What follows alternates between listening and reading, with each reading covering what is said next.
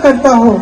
चाहे वो किसान हो, चाहे वो किसी के घर में बर्तन मांज रही हो, चाहे कुछ भी हो, छोटे से चाहे डॉक्टर हो, किसी की मरीजों का इलाज कर रहा है, शिक्षक है जो बच्चों को पढ़ा रही है, चाहे छोटा से, छोटे से छोटा काम हो, अगर मेहनत और ईमानदारी और निष्ठा से किया जाता है तो उसको हम देश सेवा मानते हैं। सही बात है?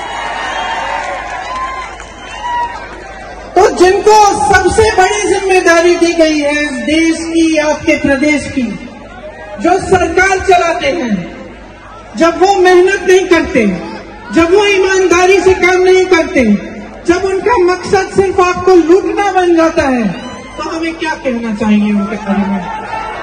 क्या कहना चाहिए? निकालना चाहिए कि नहीं?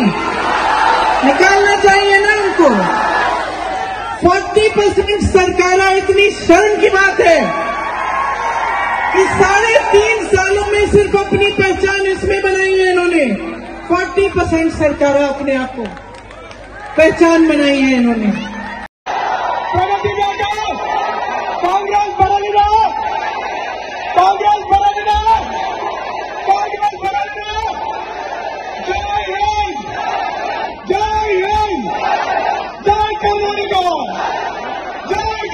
Okay.